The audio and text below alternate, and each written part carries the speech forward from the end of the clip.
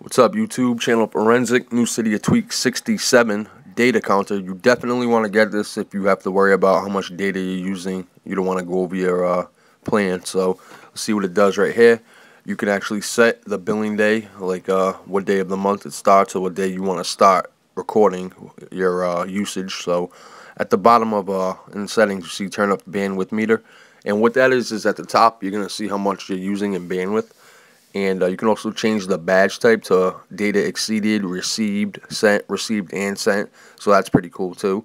And uh, when you get a report, you can see from September 1st to September 29th the data received and the data sent uh, of the month in total altogether.